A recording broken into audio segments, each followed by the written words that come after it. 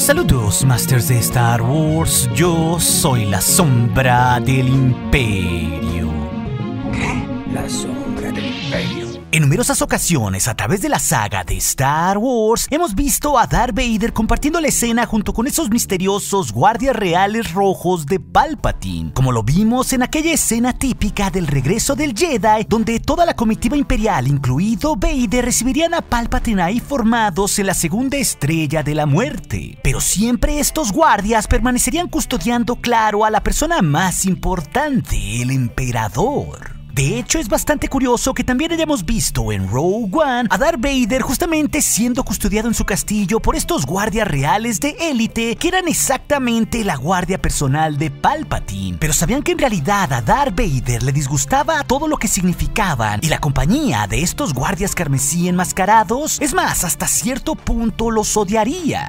Para explicar esto a través de varios ejemplos, Masters, primero que nada, debemos recordar una de las míticas escenas borradas del regreso del Jedi donde fue conceptualizado por primera vez la introducción de estos guardias coexistiendo con Darth Vader allá a inicios de los 80s por George Lucas. Ya que si recordamos, en un cierto momento, cuando el emperador está en su trono junto a sus guardias y sus dignatarios, él le ordena a Darth Vader que se retire a su Super Star Destroyer y que se quedara ahí hasta nuevo aviso. Esto porque Palpatine no quería ser molestado. Pero momentos después, cuando Luke Skywalker y los rebeldes se infiltran y descienden a Endor, justamente Darth Vader siente esto por medio de la fuerza y decide ir de nuevo al trono de su maestro violando justamente su orden directa. De hecho, es aquí donde entra esa escena borrada del episodio 6, ya que cuando Vader está justo a la entrada del trono de Palpatine, el Moff Gergerod le dice que no puede entrar porque es una orden del emperador. Pero lo interesante de esto, a pesar de que Vader estrangula a Gergerod, es que los dos guardias toman sus báculos y apuntan contra Vader en un claro signo de desafío y que no le temían para nada. Aunque claro, Vader terminaría conteniéndose y después lograría entrar al trono de Palpatine. Pero todo esto demostraría también que los guardias siempre estarían ahí para servir a Palpatine sobre cualquier cosa. Y esto en sí sería en parte porque a Vader le disgustaría estar rodeado de estos enmascarados carmesí. De hecho, también vale la pena mencionar que la primera vez que Darth Vader se encuentra con estos guardias de corazas rojizas fue justo en la serie de cómics de Lord Vader, ya que el Sith con una armadura mecanizada negra que sería prácticamente desconocida para los primeros días tras la creación del imperio. Y ahí Darth Vader, tras obtener su cristal Kyber rojo, entraría violentamente a la sala del trono de Palpatine, empujando y lanzando lejos a estos guardias, demostrándonos ahí que desconocían quién era Vader y que siempre su lealtad estaría al lado de Palpatine. Algo muy pero muy importante para conocer a profundidad este caso del odio de Vader hacia la Guardia Real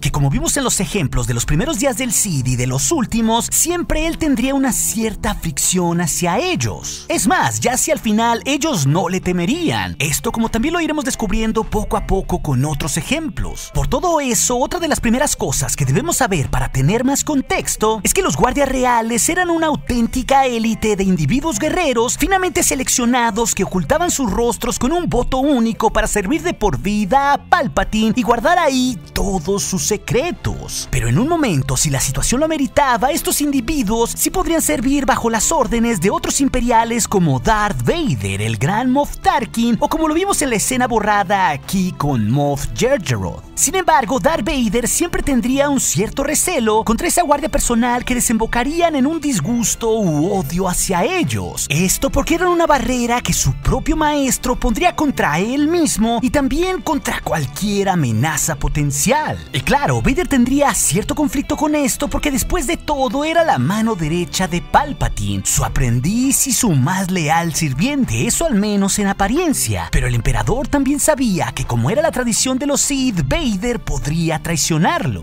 Así que esto nos lleva a otro momento importante en Legends que explica la relación de Vader con los guardias reales y que demuestra que la lealtad de Vader era mucho mayor a estos individuos hacia Palpatine. Porque en un cierto momento, como lo vimos en esa persecución de Vader por el noveno asesino, por si gustan revisarlo, el emperador sufriría un atentado donde casi moriría. Uno que había sido perpetrado por un par de estos guardias que decían proteger a Palpatine. De hecho, a los guardias que habían dejado que sucediera esto, Vader los arrojaría por el vacío de Coruscant simplemente por haber fallado al designio de proteger a Palpatine. Pero cuando entre el resto de los guardias se encontraría a los dos traidores que habían roto su juramento, conspirado contra su emperador sin lamentar aquello, Vader simplemente les rebanaría la cabeza. Demostrándonos así por qué Vader desconfiaba en este cuerpo de guardias rojizos. No solo porque estaban demasiado cerca de su maestro como para hacer algo así contra de él, sino que también al ocultar sus rostros, esto también hacía difícil que el Lord de los Sith pudiera identificarlos. Por eso Vader tendría otra razón más para desconfiar de todos ellos, odiarlos y probar su lealtad como lo vimos en esa historia ante el atentado.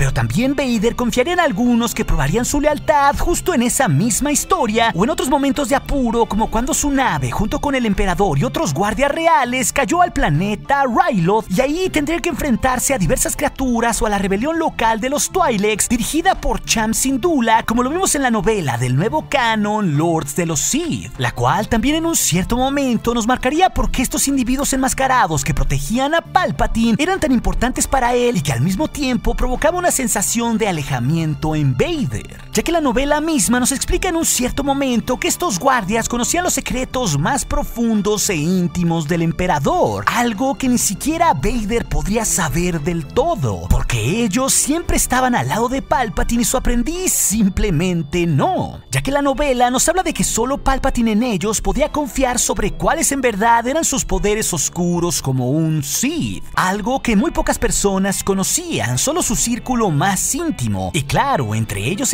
estaban los guardias reales, ya que también se nos explica ahí que ellos siempre le guardarían lealtad y ese secreto de los verdaderos poderes que Palpatine tenía y que algunas veces habían presenciado. De hecho, la lealtad de los guardias carmesí era tanta que entre ellos tampoco hablarían de lo que en realidad era Palpatine, todo un Sith en la máxima extensión de la palabra. Y esta situación, sumada a ser la primera línea de defensa y una clara barrera en contra de Vader, serían cosas que enfurecerían al aprendiz de los Sith. Pero habría un último aspecto que le enfurecería a Darth Vader de gran manera y que contribuiría a todo ese odio que poco a poco gestaría en contra de la Guardia Real, ya que como un Sith era perfectamente válido que él desarrollara más y más sus emociones oscuras y particularmente una tan importante como el odio, como también claramente lo hemos visto en toda su serie de cómics de sus primeros días, acumulando más y más entendimiento y poder oscuro hasta que prácticamente lo que quedaba del lado luminoso en sus visiones se iría de sí mismo. Pero esto nos lleva justamente a ese hecho final que provocaría el odio en Darth Vader, ya que estos guardias, a pesar de ser la guardia real de Palpatine destinada a cuidar al emperador, estaría ahí mismo en la fortaleza de Darth Vader en Mustafar para cuidarlo de cerca. ¿No les parece raro esto? ¿Por qué tendrían que estar ahí los guardias si eran los guardaespaldas personales del emperador desde siempre?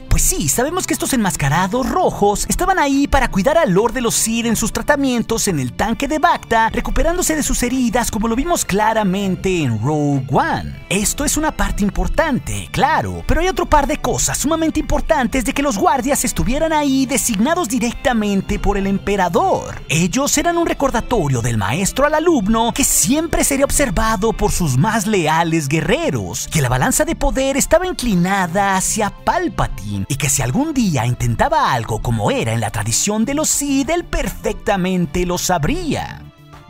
Darth Vader con los guardias ahí tendría todo el tiempo ese recordatorio sutil de Palpatine de que en sus momentos más débiles, estando ahí desnudo, mostrando sus heridas y en momentos tan personales como cuando meditaba en ese tanque, podría ser observado e incluso espiado por esos individuos rojos que únicamente debían su lealtad a Palpatine. Porque aquí tenemos que recordar que precisamente Darth Vader le había pedido Mustafar a su maestro para construir su castillo por una gran razón del lado oscuro y de comprender así de mejor manera la fuerza. Algo que le complacería a su maestro en un principio, que su aprendiz quisiera entender mucho más la fuerza como nunca antes. Pero también ambos sabían que cualquiera que consiguiera un entendimiento mayor en la fuerza o cualquier poder extra, esto seguramente podría desembocar en un desbalance o en una gran traición algo que siempre ha estado presente en la narrativa de Palpatine y Vader de diferentes maneras, tanto en los universos de Legends como en el canon actual. Ya sea uno entrenando a Starkiller para poder matar a Palpatine o el otro generando complots para comprobar la lealtad de su aprendiz, incluso atentados a sí mismo para ver si Vader no deseaba usurparle el poder. Así de extremo sería el juego de poder de los Sith usando todo tipo de artimañas. Sí, Darth Vader y Palpatine se respetaban, pero también uno desconfiaba del otro desde el día uno, como claramente nos lo dijo Anakin en Mustafar y como también lo veríamos hasta los últimos días de ambos en el regreso del Jedi. Así que no sería para nada raro que precisamente muchos años después de regalarle su castillo o pasando un cierto tiempo prudente, el propio emperador pusiera ahí a esos guardias para vigilar a Vader de que no hiciera nada que en un dado momento pudiera causar un desbalance en el juego de poder de los Sith.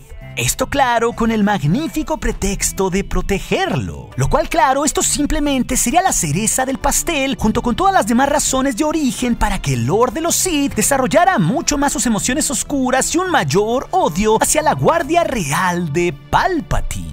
Pero si también quieres conocer a mayor profundidad esa historia con una gran revelación de por qué Darth Vader desearía establecer su castillo en Mustafar y cómo llegaría a ese diseño final, todo esto con la gran venia de Palpatine, esa fascinante historia te la dejaré aquí en las pantallas finales, así también como otras aventuras de Darth Vader que seguramente serán de tu interés. Y recuerden, Masters de Star Wars, nuestro aliado es la fuerza y un poderoso aliado es. Hasta aquí su amigo, la sombra del imperio. 計量